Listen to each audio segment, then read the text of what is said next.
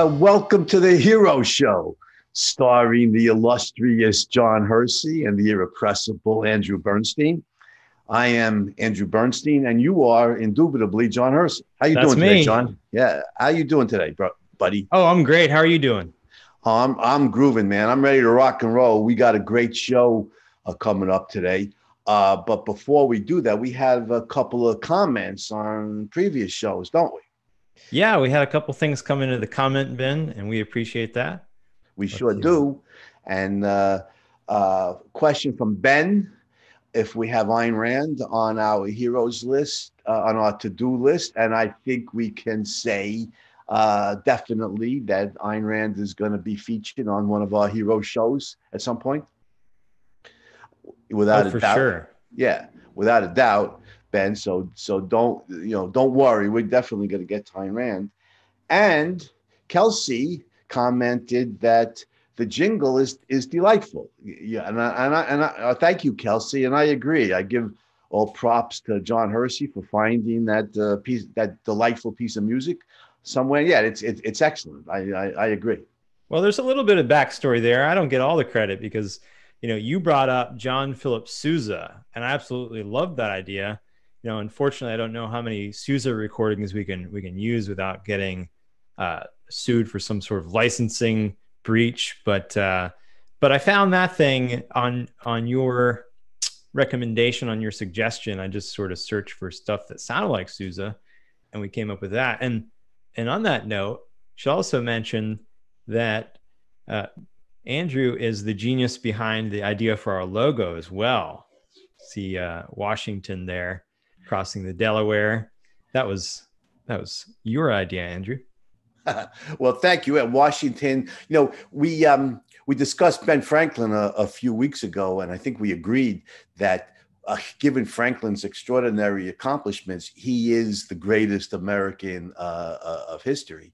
But George Washington was always my favorite hero, and you know, he's you know got to point out uh, objectively that he was a slave owner, which obviously is bad.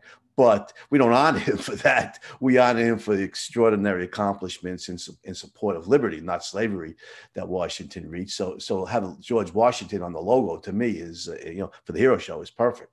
Absolutely. Do you guys want to see an episode on Washington? Let us let us know in the comments. We'd love to hear what else you guys are interested in seeing. And if you don't want, if you don't want George Washington on the hero show, you better check your premises. Yeah. Get out of here. Get Yeah, outta no, here. no, we still love you, but just you might want to rethink that. You know, and I think George Washington is is, is uh, gets gets more credit uh, is more responsible for the founding of the American Republic than, than any other single single individual. Yeah, you know, we ought to think about when we can do him. You know, obviously, recently uh, th- there was a statue of his defaced in Chicago, and uh, it's just Yeah, absolutely That's hor- ridiculous. That's People, horrifying. Yeah, it's that's horrifying. That- ignorance of history. Really, people latch on to a few details, and they really don't know his incredible achievements and and how he set the stage for all the uh, improvements that were to come. So, Right, right, absolutely. And you know, I'm uh, my background's in philosophy, which of course is is perfect for the discussion today on on Aristotle. But so I'm just a dilettante in history. But you know, it's good to have friends, and you know, one of my friends is is Brad Thompson, who's uh, expert, you know, PhD in American history and expert on the Revolutionary period. Uh, written, you know, a well-regarded book on John Adams. His new book on you know the the mind of the American Revolution. I, I have a copy, haven't read it yet, but I'm sure you know I've heard from people I respect. It's brilliant, and I'm not surprised. Anyway, I, I asked Brad a couple of years ago about Washington. I, I said, you know, I asked him would would the War of Independence could it be won without Washington's leadership? And he said no. And I said, well, could could Madison and Hamilton and those guys have gotten the Constitutional Convention off the ground if they weren't able to, to convince Washington to preside over it? And he said, no. I said, I said, would the, would the would the Constitution have been ratified except on the tacit understanding that Washington would serve as the first president? You know, and, and Dr. Thompson said no. So I, I think my- limited knowledge of American history, I think that's all true. So I'm- I think you can make a case that Washington, more than anybody else, is is uh, more than anybody else, is responsible for the founding of the American Republic. So yeah, we definitely got to do we definitely got to do uh, George Washington. yeah, and we ought to have uh, Dr. Thompson on. Actually, I, it's funny. I just emailed him yesterday to talk to him about potentially coming on the other podcast that I do, which you guys haven't seen. It's called Philosophy for Flourishing, also from the Objective Standard Institute. You got to check that out. But I'm hoping to have Dr. Thompson on that show in the near future as well. But uh, we'll we'll just have to to bring him on both. He's just so knowledgeable and just yeah, wealth it, of it, all things in time, right? If we're going to do John Adams, certainly we need we we did John Quincy Adams. If we're going to do John Adams, we certainly need uh, to have Dr. Thompson and, maybe uh, you know, we got in George Washington as well. But um, so let's dive into your specialty, which of course is philosophy. You're a philosophy instructor and have been. Why don't you tell us a little bit actually about your background in philosophy and and your your qualifications? Oh, do I have to talk about grad school? But yeah, okay, okay. yeah. I mean, I've been a, uh, I'm, I'm you know, uh, I'm a literature guy first, foremost, and always. You know, I love literature and reading Ayn Rand's novels when I was uh, a teenager. Of course, got me interested in in philosophy, and you know, I majored in in, in English as, in college, but I uh, studied philosophy in grad school at the graduate school of the, the uh, of the City University of, of New York, which unfortunately is a very contemporary program. It's much it's much more modern than it is classical. If you want cl- interesting, if you want cl- classical approach to philosophy, unfortunately, in many cases, you have to go to the Catholic schools, you know, because. Thomas Aquinas, of course, is uh, you know the, the, the philosopher of uh, Catholicism, and Thomas Aquinas was a 13th century Aristotelian. So I, I, I went, um, even though I was an English major in college, I went to a Catholic Catholic college, and um, I took every philosophy course they offered, and so there was a lot of lot of uh, Thomistic influence and a lot a, a lot of Aristotle. So uh, I, I, just happened to have here, Jon, by by accident, of course, just just a coincidence. I have here uh, Richard McKeon's uh, Basic Works of Aristotle. Now McKeon oh, was a was a you know famous Aristotle scholar. I think at the University of Chicago. Definitely, he was definitely American. and for anybody who wants to study Aristotle, this is you know must have in your in your library. I, I've I've had this copy since I was in grad school. You're going back in the 1970s, and I've moved a few times since then. But I schlepped this around with me. You know, Aristotle Aristotle comes with me wherever wherever I go. So yeah, it looks like there's still a library sticker on the back there. It looks like you schlepped it right off the shelf. That's a gorgeous looking book. I have to pick that one up. Yeah, uh, Amazon. Amazon Amazon sells that. No, I actually bought this. I don't remember.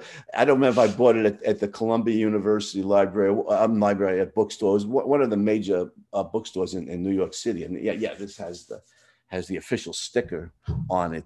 But uh, Aristotle's. You you you want to do a little bit on on his life before we before we get into his thinking. Yeah, it's funny. You you, you brought up a good segue point there. You talked about uh, Ayn Rand and uh, she wrote of Aristotle's philosophy that it was the intellect's declaration of independence, which I think is wow. just beautiful.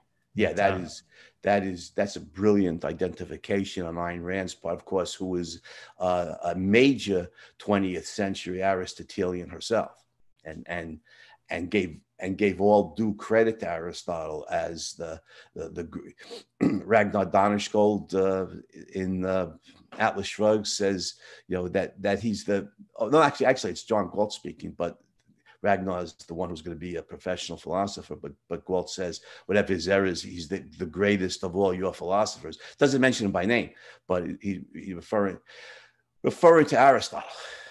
Yeah, and of course, Rand mentioned Aristotle by name. Lots of she, one of the few philosophers that she credited just left and right, really. So uh, Aristotle, born in around 384. And I should just say the outset here that very little is known about his life and very little can be confirmed. So basically, all of these details are, uh, are, are the best knowledge that we have.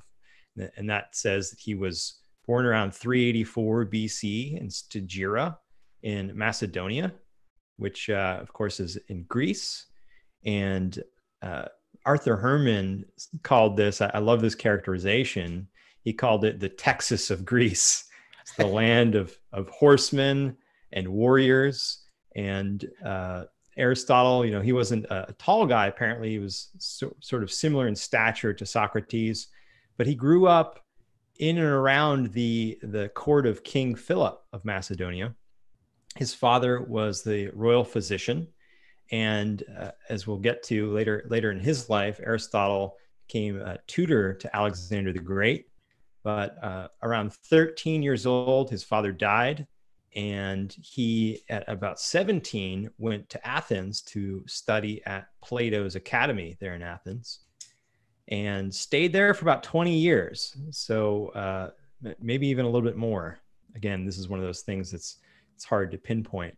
There's a, a lot to dig into just in in that period of his life. You know, uh, a, lot of people, you know, we we hear now that the battle of Western or the soul of Western civilization is a battle between uh, Plato and Aristotle. But it's also good to point out that Aristotle started as a Platonist. And according to Cicero, Cicero said that if uh, Plato's writings are silver, Aristotle's were like a river of gold. And he was referring, we take it, to Aristotle's dialogues. Aristotle wrote, at first at least, in a dialogue style, much like Plato, eh, but only a few of these are left and, and not enough really to verify Cicero's judgment, unfortunately, on that on that account. Right. Yeah. Uh, Cicero refers to the golden stream of Aristotle's rhetoric, uh, and uh, Cicero was in a position to know, but but you're right. We don't have the firsthand evidence to verify this. But just a, a, a few comments on what you were saying, Jon. Um, I, you, Macedonia, where uh, where Aristotle is from, and Stagira in in uh, particular, I, I, think we could also call it the Big Sur of uh, of Greece because you know I pilgrimaged there a few years ago with uh, Greg Salmieri. We were over in Greece to to nice. do a conference in Athens, and with some of the Greek Aristotelian objectivists, we we drove up to Stagira, and you're, you're right. Nobody knows ex- somewhere in that area Aristotle was born. Nobody nobody knows exactly where, but it, it was November, so it wasn't brutally hot um, I, I, I don't really like the hot weather, so I was I, you know I was, I was fortunate there. It was November, um, and it's just if you get anybody's been to Big Sur, I, am sure I'm sure you've been there, Jon. You know how, how the you know the cliffs go straight down to the Pacific. Well, that's what it is in, in Stagira, except you know the green you know tree cliffs are going straight down to the Aegean, and it was a beautiful sunny day. Uh, maybe you know Fahrenheit, maybe, maybe it was 70 degrees, breeze blowing off the Aegean, sunshine and blue sky. And I just sat there and I communed with Aristotle's spirit, you know, it was just, I said, thank you, you know, like uh, they, you know, they, uh, uh, you know, I, I, was like in, in Atlas Shrugged. I said, "Thank you and well done." You know, like you know, these heroes were saying to Dagny Taggart, "Thank you and well done, Aristotle." That's um, that's one, one point I want to make. But but also the, the court physician, his father, uh, his father Nicomachus. Um, now this is the, this was the fourth century BC, maybe the fifth century BC. You know when when Nicomachus was was flourishing. As how much, you know, what did it mean to be a physician back then?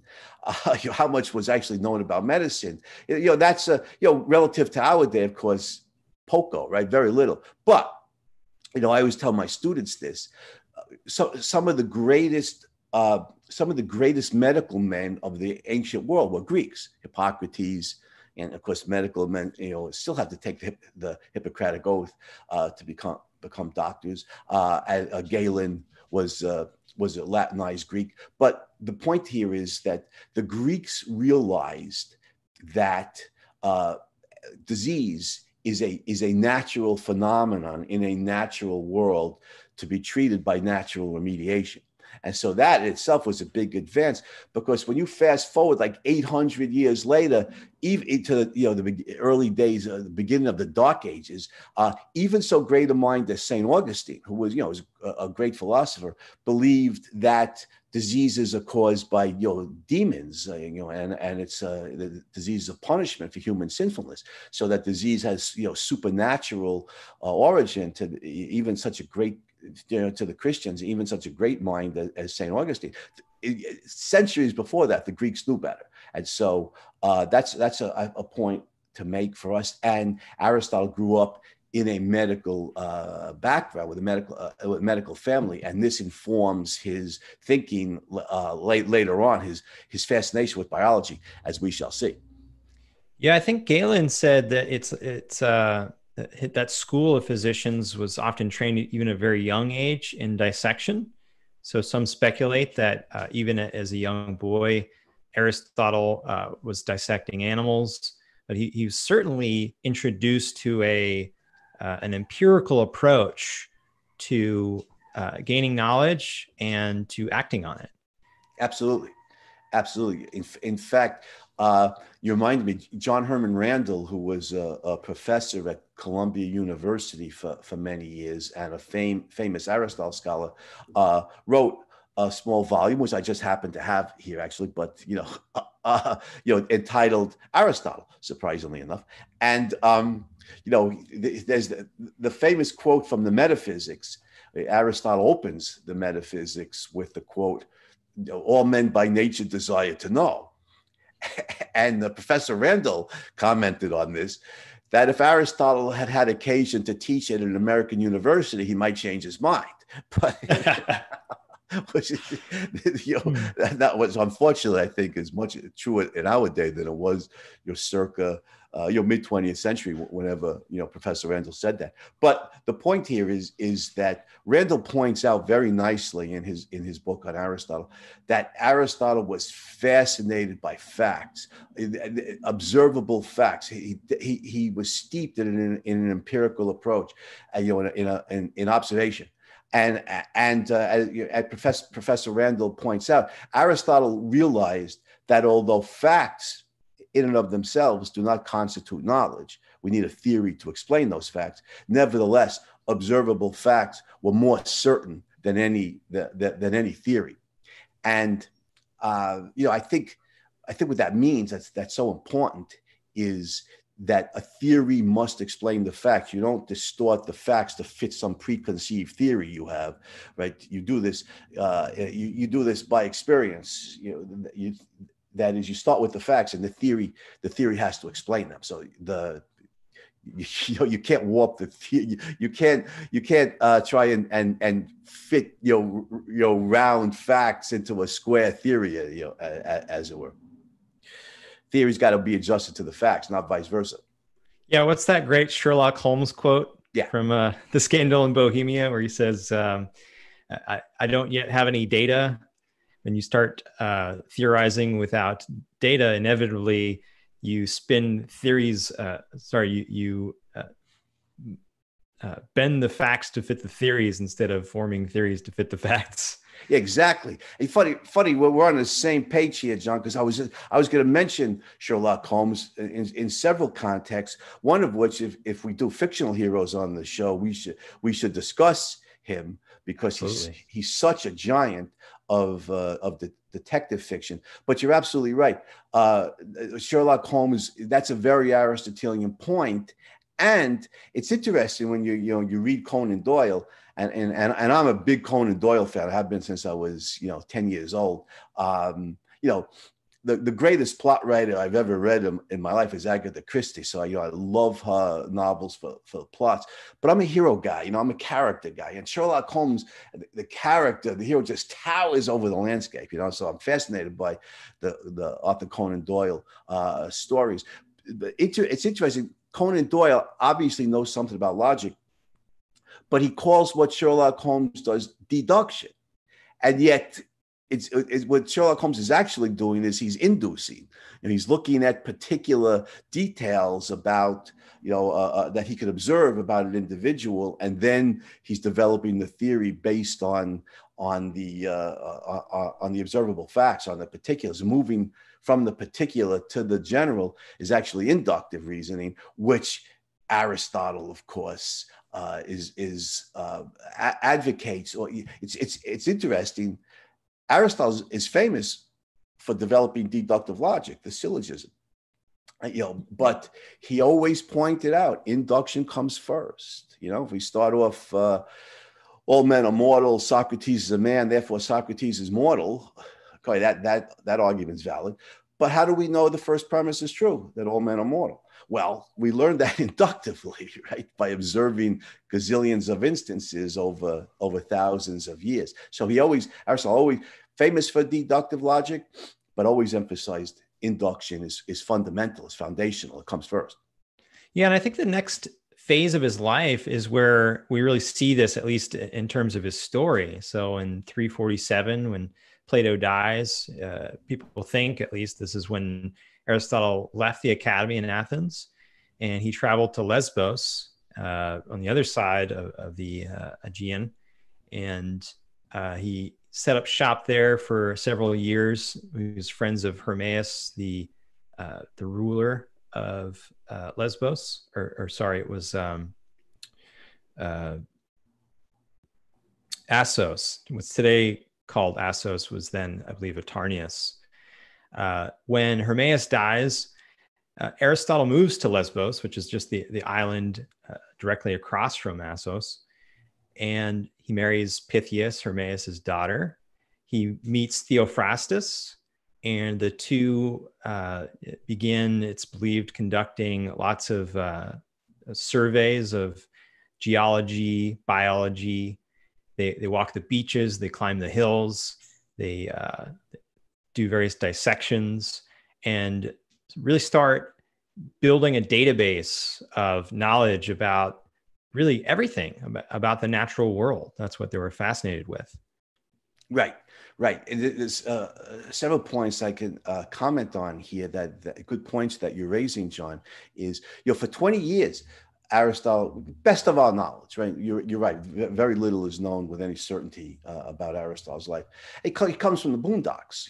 you know, he's, he's you know, he's in Athens, a very advanced uh, culture. We, we, we have records, but you know, Macedonia is not not so much. But best of our knowledge, from age 17 to age 37, Aristotle remains at the academy. As long as Plato was alive, Aristotle remains at the academy, which you know speaks of the bond between these uh, you know these two philosophers. Aristotle comes to disagree with Plato on philosophic fundamentals, but he never stopped respecting him as a you know as a as an honest man and as a as a great philosopher. According to legend, uh, Plato used to refer to Aristotle as the mind of the academy you know, and they say if, if Aristotle weren't there, Plato wouldn't start class yet. Wait, the mind is not here yet. Uh, now th- these are legends. Maybe they're true, maybe they're apocryphal, but um, but that he stayed there as long as Plato was alive argues for the bond that he had with Plato,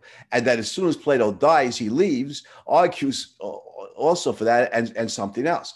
And the the and goes back to what we were discussing about uh, an empirical orientation. Because to Plato, again, according to legend, Plato had a big sign over the front gate of the academy, his school in Athens, the sign that read, Let none who are ignorant of geometry enter here.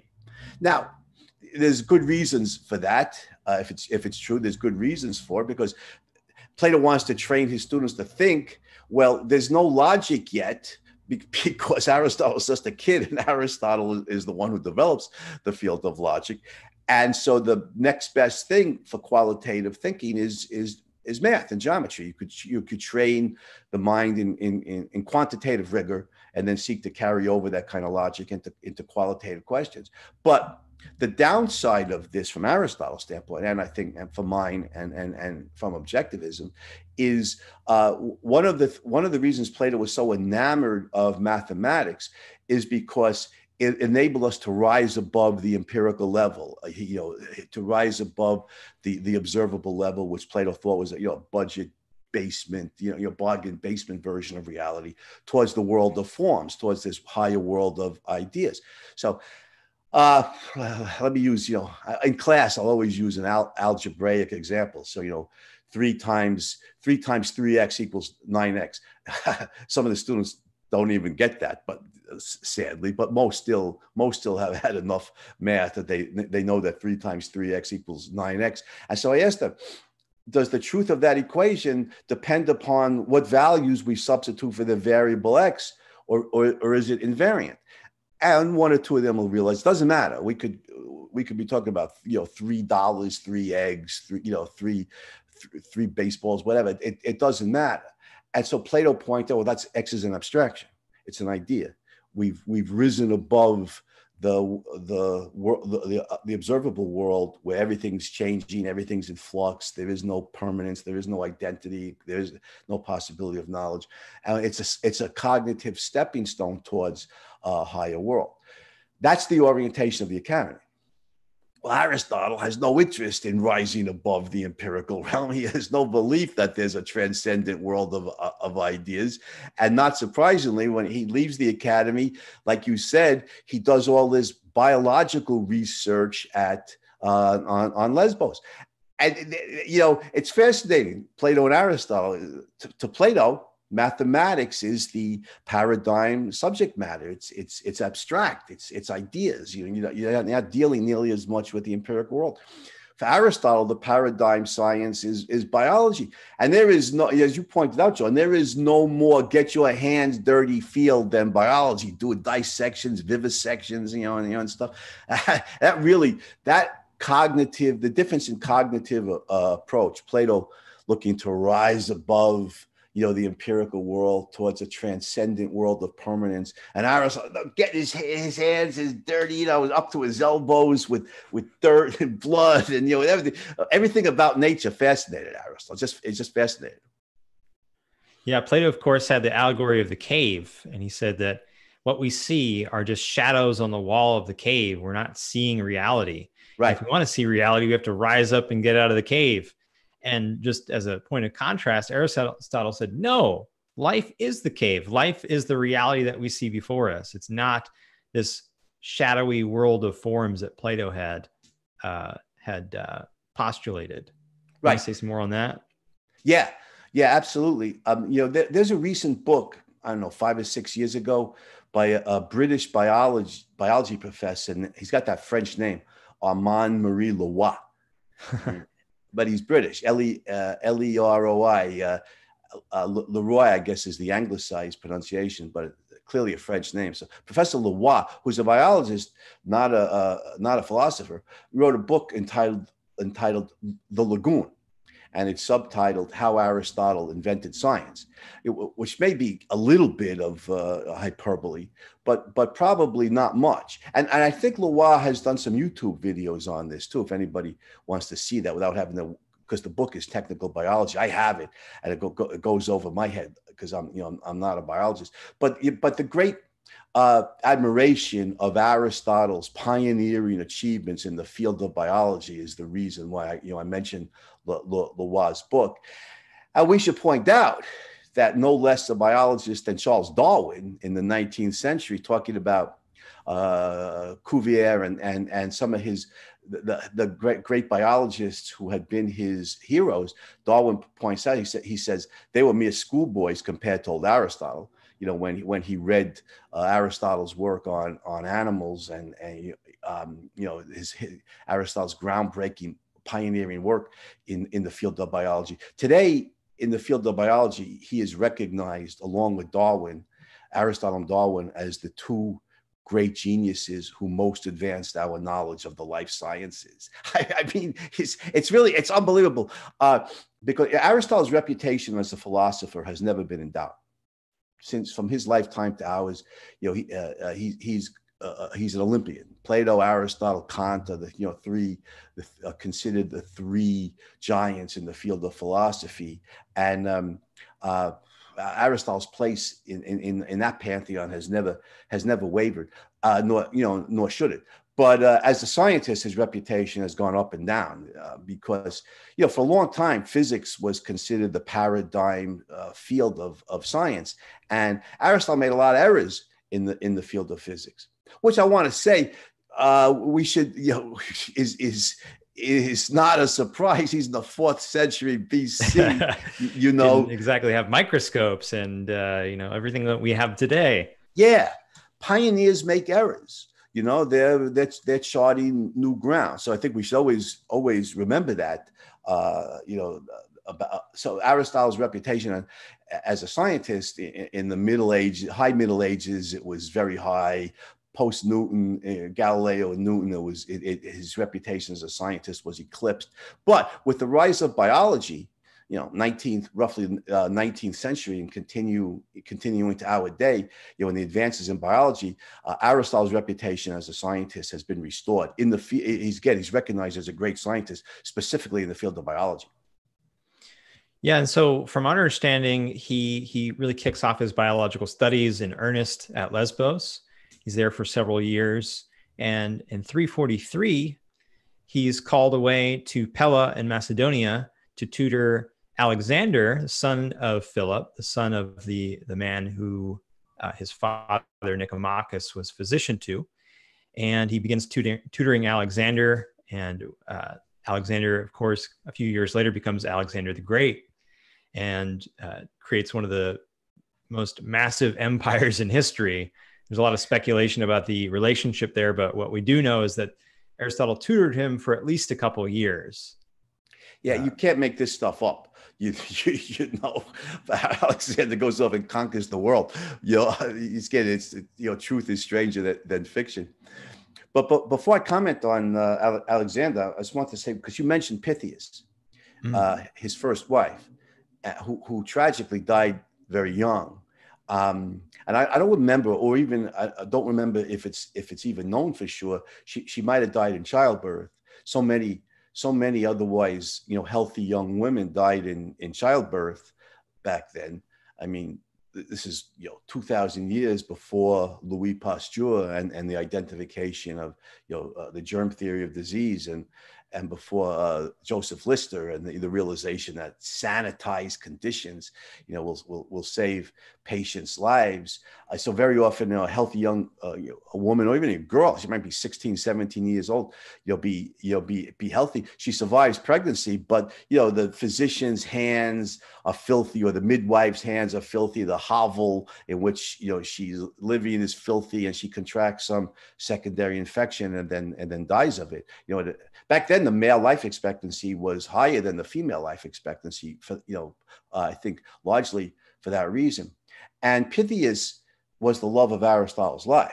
They, they say at the end of it he, he, he remarried years later but they say that you know when he when he in his will he wanted to be buried next to, to pythias who was the you know the the woman that he that he he loved. And and it's so sad because you know pythias dies young Aristotle then lives the bulk of his life without the woman who was the love of his life, and Nicomachus, their son, you know, doesn't doesn't have a mother, but uh, Aristotle does have the child of that relationship, and the Nicomachean Ethics, of course, named named after both his his son and and his father. So it, it, it's touching. Um, the Aristotle scholars you know point out the this this, this bond that Aristotle felt uh, for Pythias regarding Alexander, um, now Alexander was like 13 when when Aristotle arrives in, in Macedonia. And you, you, Alexander has the great good fortune uh, to have the greatest genius in human history as his personal tutor for like you know a, a, year a year and a half or or two years. And it's it's it's it's a it's an amazing story because you know years later, although although Alexander and Aristotle had a falling out over over what was it? The, Aristotle thought that Alexander had mistreated his nephew or, or, or, was something something like that. Nevertheless, Alexander always held Aristotle in the highest esteem and and and said. Uh, publicly, that uh, or, or, said anyway, that uh, although Philip, you know, my biological father, although Philip gave me life, it was Philip who gave me life. It was Aristotle who taught me to live well. And and as conquerors go, for many years, Alexander was a very rational, clement uh, conqueror. He he got uh, corrupted and went crazy. I can't even say in his old days because he was like 32 or 33 when he died. Mm-hmm. But as as the as the years went by, he became more of an Eastern, you know, Asian style uh, uh, emperor dictator than he was the, the, the simple king of Macedonia before that. But he used to Alexander used to bring philosophers and scientists with him on his campaigns, and at night. You know, he, he didn't he wasn't much of a drinker. He didn't he didn't eat heavily. Uh, at night, he would delight in you know just talking ideas with the with the best minds he could find, whether they were Western uh, you know, the Greeks or whether whether they were Persians, you know, you know, Eastern. Uh, Alexander had a great respect for both cultures. And indeed, uh, some of his biographers think the part of the goal was to wed uh, East, Eastern, Eastern and Western culture. Yeah, has this relationship ever been dramatized that you know of? I can't think of. I'm not a big movie buff either, but uh, it's just such an incredible story. You, you know of any movies that have captured this? No, I actually, actually, you you raise a good point. Oliver Stone did that uh, Alexander movie. I don't know, 15 years ago, roughly. I don't don't remember. Was, he's a big Alexander buff. He's also a communist, but, uh, but he's a Marxist anyway.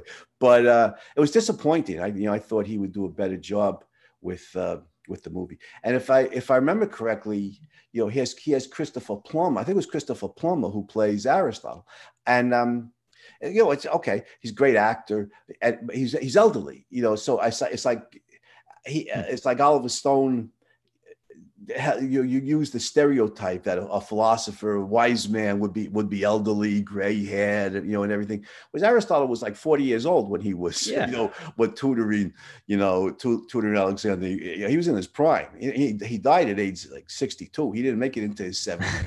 uh, so, but anyhow, uh, to answer your question, not that I know of, and what a great book that would be to start with, based on whatever knowledge we have on that relationship of Aristotle and Alexander, and then transform the book into a movie would be would be well, yeah, you're right. It'd be fascinating.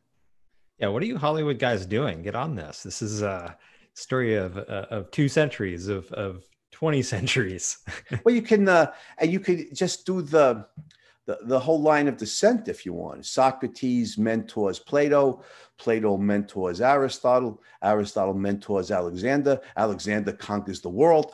you know, you can, uh, the whole line of descent is fascinating. You make a great topic for, for a book and then you, a, a long book and then for maybe even a series of movies. Oh, you remind me of a play actually called Socrates that does pretty much what you're talking about. Robert Begley reviewed it for the Objective Standard. I'll, I'll post it in the show notes. I haven't oh, yeah. seen it, but it sounds. Yeah, I haven't seen it either. But Robert told me it was really, really good, and I have a lot of respect for his judgment. So, uh, yeah, that's that. That is that is a fascinating topic. Um, what, what else should we? I mean, we could do Alexander as a whole show because he's he, uh, with caveats. I mean, he's a, he's a military, he's an imperialist, but you know, as imperialists go, he did a lot. He he did a lot of of great things, and certainly brought Greek uh, Greek culture into, you know, in, in, into the Middle East. For, you know, for one thing. Yeah. But uh, yeah, I, I, mean, he as as conquerors go, he was an extraordinary uh, individual, and I don't did he, I don't think he ever lost a battle, did he? I mean, I think every every I think he's undefeated. You know, he's like he's like the un, undefeated heavyweight champion of the world. In in the movie, they they show him. Uh, uh, losing a battle in India and um, or, or, getting at best a draw, and his his famous battle horse. Uh, uh, uh, Bucephalus, that beautiful black stallion, because because Alexander was a cavalry officer and uh, fearless in in a way that goes beyond courageous. He was he was fearless, which is crazy is not a virtue because they're trying to kill you and you're not afraid. You can't, you can't value your life very much.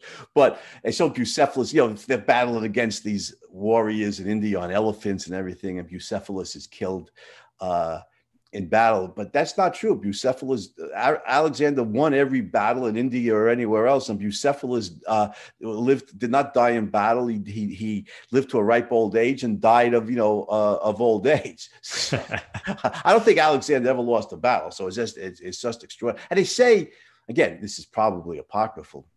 They say that um, at age 24, Alexander literally broke down and wept because he had no more worlds to conquer. He couldn't get his army across the Himalayas into China. Otherwise, he would have invaded China. Uh, but uh, had no more worlds to conquer. He was he was stymied by the you know by the Himalayas. There's no he had no place to go. So, age 24, I know you know reading Plutarch. Uh, you know, the, the, the great lives of the Greeks and the Romans, he parallels Alexander and, and Julius Caesar. And Caesar is, is, is excoriated himself. He's t- telling himself, at this age, Alexander conquered the world. I haven't done anything, you know? So, yeah, conquering the world by age 24, that's a, that's a high bar, you know?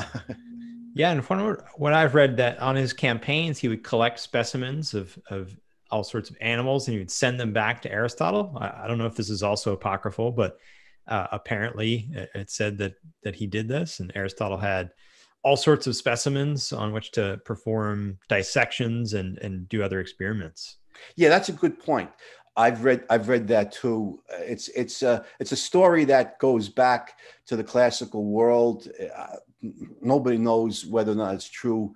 Great story though, and it, you know you're right. Uh, the flora and fauna in Asia, especially when Alexander was all the way in India, a long ways from Macedonia. You know, Toto, we're not in Macedonia anymore. You know, uh, yeah, he's he's gathering. It may well have gathered, given the respect he always had for Aristotle. May well have uh, gathered flora and fauna to send back to Aristotle at the Lyceum, because at that point Aristotle had founded his own school in Athens, the Lyceum, for Aristotle to study the, the, his fascination with all different life forms so if that's the case, if that's true, then Alexander certainly contributed to the advancement of knowledge in the field of biology. Yeah, so in his mid 40s, he was he was tutoring Alexander, and legend has it that around uh, 349, 335, when he was 49 years old, uh, he he went back to Athens and set up his Lyceum. Called that, I believe, because it was set up on the grounds of a, a public uh, uh, gymnasium space, like Lykeios, like chaos, uh, however that's pronounced. Yeah. That, and, go ahead. Uh, and his students, uh, they conducted research on botany, biology, aesthetics, politics, history, rhetoric, just absolutely mind-boggling range of subjects uh, that they were really collecting all this knowledge on, doing research on there, there's nothing like this. I mean, yeah, you know, modern times. You know, it's interesting. You know, even a minor point. Plato named his school the Academy. Aristotle named his school the Lyceum, uh, and they existed cross town from each other. They were in competition with each other. And after the death of the of the masters, the the the, the schools went on specializing. You know, they taught all different subjects, like you said, but they specialized in the teachings of the, you know, of their founders. Uh, even in terms of the vocabulary, I mean, we have the English words today, academy and lyceum, meaning school in both cases, from, uh, you know, you know, from from Plato and Aristotle, and those great schools of classical antiquity survived for centuries. I think it was in, in 529 A.D. Uh, you know, this is like 800 years or more after Plato founded the Academy. I, I, think the Lyceum had had ended shortly before that, but the Academy was shut down by Justinian the First, the you know the the Roman emperor was a Christian, you know, ruling from Constantinople, uh, because he you know he, the the schools of pagan philosophy, Greek philosophy, were inherently subversive of Christian faith. He shut the Justinian the First shut down. Uh, uh, the, the pagan schools. I, I, think the academy was still in existence, and I think Lyceum had had faded out shortly before that, uh, and and forbade any pagan to teach. Only only Christians were allowed to teach. And uh, the great Will Durant, the great you know American historian, said about that uh, after 1100 years of you know uh, after 1100 years of its great history, Greek philosophy came to an end. You know, Greek philosophy didn't die of its own accord. It was killed off by uh, fanatical religious faith. Sorry about that. You probably just heard my, my phone ring. Such a oh, popular we, guy. We, still love you, Jon. These kinds of these kinds of things happen. Uh, well, you could diddle with your phone, and I and I'll go on talking. It's why they pay me the big bucks. Uh, but um, well, one thing I think we could do several shows on Aristotle, but one thing we have to touch upon here uh, is why I think Aristotle is the greatest philosopher in human history, why I think he's the greatest genius in history, and why I think he's the greatest hero in history. And that is Aristotle preeminently, more than any other single individual, taught mankind how to think. I, I, I, and I, this is a staggering accomplishment. And what I mean by it is, is, is, is two things. Excuse me. First of all, he uh, founds, the, founds the field of logic. He credited Socrates, you know, as somebody who he, who he, he never knew because Socrates was executed in, in 399 BC and Aristotle was born in 384 BC. But in his all those years in Athens, he knew many people who knew Socrates, preeminently Plato, but but many others as well. And he, he was aware that Socrates sought rigorous definitions for you know key moral philosophic terms and, and taught that to Plato, who's you know whose dialogues often take the form you know what is X you know in the Republic is what is justice and the Euthyphro is what is piety and the Protagoras is what is virtue. Plato, following the lead of his illustrious teachers, seeking you know rigorous definitions, because Socrates pointed out you know if, if we don't have you know exact definitions for these key moral philosophic terms then we literally we can't discuss it. We're, we're talking across purposes. We don't have we don't have a you know a, uh, an objective understanding of what the of what these terms mean. So aristotle credits you know definitions are a big part of the field of logic. And Aristotle credits Socrates. Other than that, he, he says, you know, accurately, uh, we, he said, we pretty much carved out this field, you know, from, from, from scratch. You know, so he develops the field of logic, rigorous, the method of rigorous non-contradictory thinking. So that's one point. But the second point that I think too often gets overlooked, and that you mentioned before, Jon, is his empirical orientation, his what you know what John Herman Randall you know t- called his reverence for for observable fact. Where Aristotle says knowledge is logical, non-contradictory reasoning about observable fact, not about myths, not about later on in history, not about faith-based beliefs, but it's you know, knowledge is gained by you know by uh, logical, non contradictory thinking about observable facts. It's always about reality, not about some myth or fantasy. Aristotle wed uh, observable fact with rigorous logical thinking. And that is the method uh, to gain knowledge. That is the method of reason, of rationality, of human, uh, of proper human cognition. And that I think is the greatest single achievement in human history that more than anything else enable us to advance uh, our knowledge and, and promote human life. Yeah, because if you think about it, without logic, you're at a dead end in basically every other subject. I mean, you need the ability to reason to make progress in science and, and everything else. Of course, you have induction to get to the generalizations, to get to the principles. But once you have those principles, you need the ability to apply them to the concretes. And that's what logic gives us. It gives us the ability to do that without getting ensnared in fallacies and just going wrong. Yeah, so, absolutely. And Aristotle identified any number of the major errors of reasoning, which he named fallacies, and we still study them today. You know, I, I, teach logic every semester, and it's basically Aristotle's achievement that we're that we're studying. But and then there's the other half of it, you know, the the reverence for observable fact. That reasoning uh, doesn't gain us knowledge if we're if we're reasoning about fantasies. And so one example of that would be from something that he would be have been aware of in his own uh, culture, in his own day. You know, Greek mythology. One of my favorite, you read Edith Hamilton's you know books on, on Greek mythology. One of my favorite uh, of the myths is that you know Pallas Athena, who the daughter of Zeus, who Athens you know is the patron goddess of Athens. Um, Pallas Athena springs fully developed from Zeus's head. You know, that, that, that must hurt, you know, you know. but uh, she, she has no mother. And so there's, the, there's you know, there, there's the myth. It's, it's, it's a fascinating story. But yeah, obviously it's, you know, it, it, it's a myth. It's not empirically uh, accurate.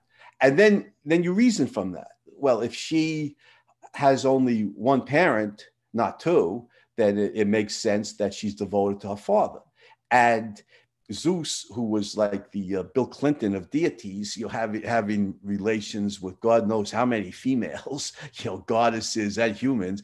They, they talk about Zeus as the father of the human race.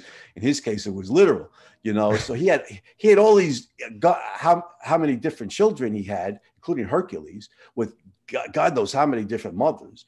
But in all those cases, he had to share those other children with the mother. In Athena's case, he doesn't have to share her with uh, a mother. She's his. And so it makes sense uh, that he dotes on her. It makes sense he's he's her, her only parent, she, you know, she loves him. So it makes sense then in the mythology that Zeus will trust only one other person or goddess with the thunderbolt, you know, the mightiest weapon in the universe, and that's his his daughter Athena.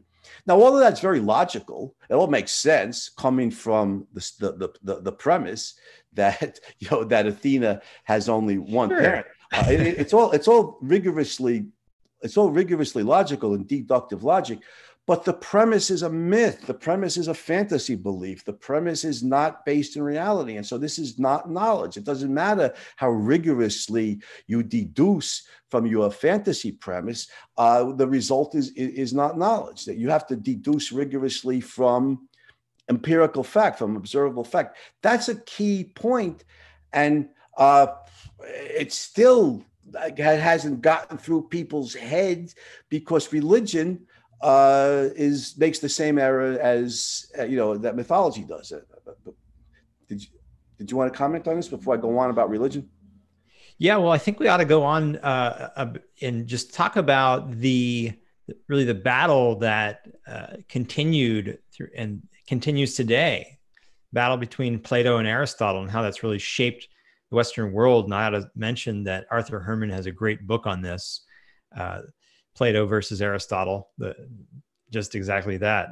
It's called The Cave and the Light Plato versus Aristotle, the battle for the soul of Western civilization, and where, in which he tells the story really of how the entire thing unfolds. But I think we have just time enough to really touch on it today. Yeah, I, am glad you mentioned Arthur Herman's book, The Cave in, Cave and the Light.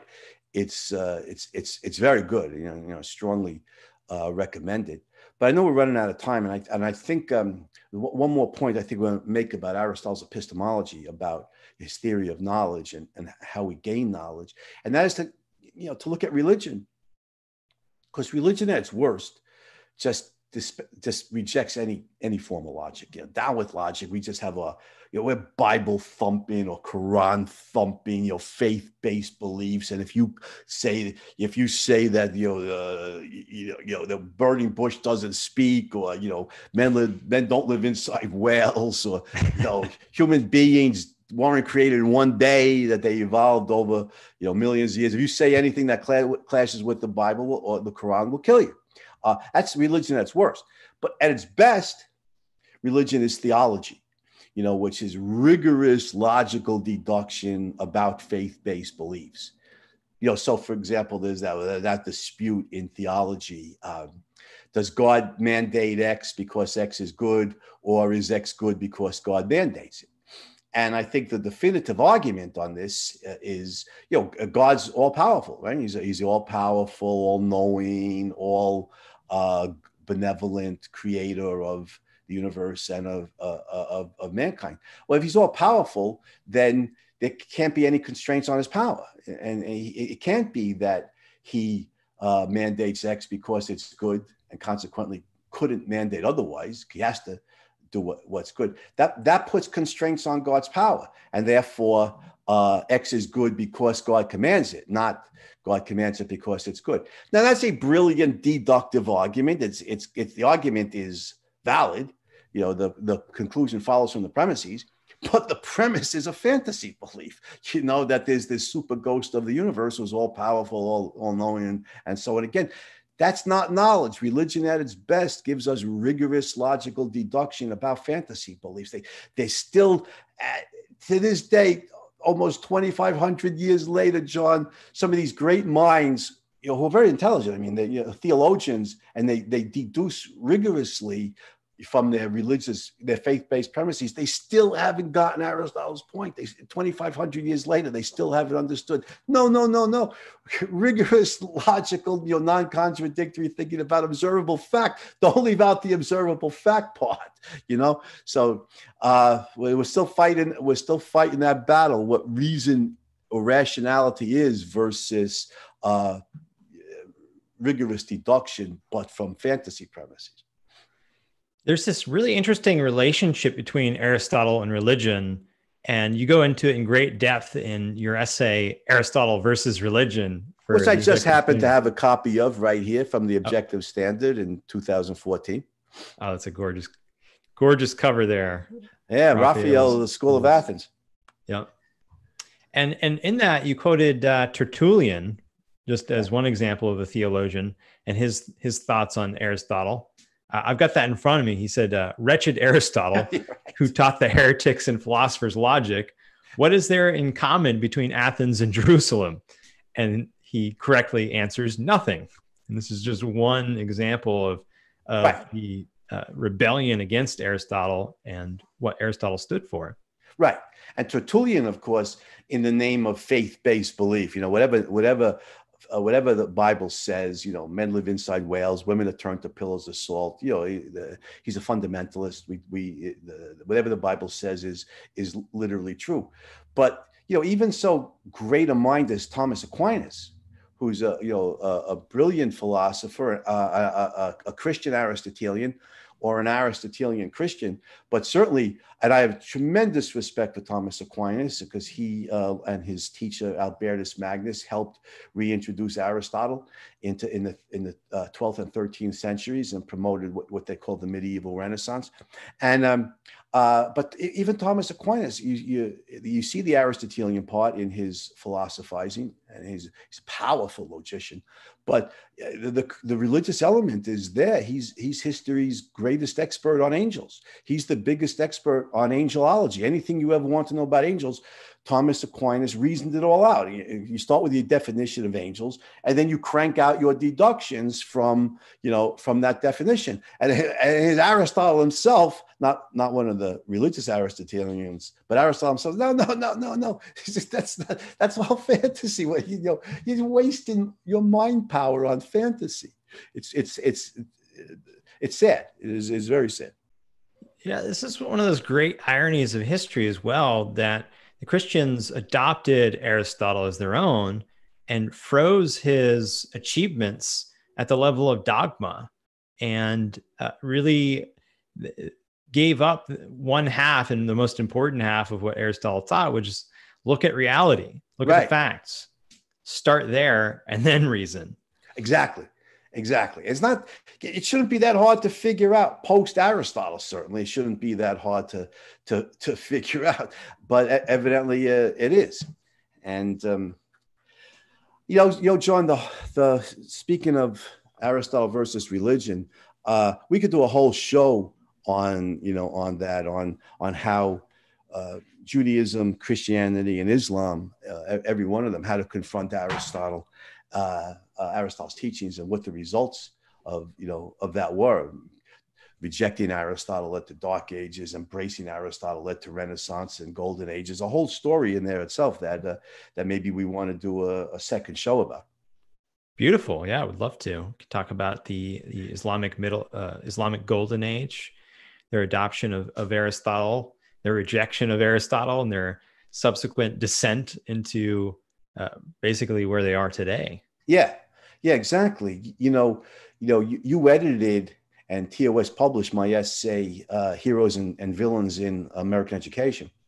Um, we could do a show, "Heroes and Villains in you know in the history of religion," because there's a lot of heroes in the Islamic Golden Age, uh, and then in the medieval Renaissance. You know, I meant we mentioned Albertus Magnus and Thomas Aquinas, and there's some certainly some villains, you know, who wanted to suppress this kind of reasoning and, and burn the books and did uh, burn the books. So there's uh, heroes and villains.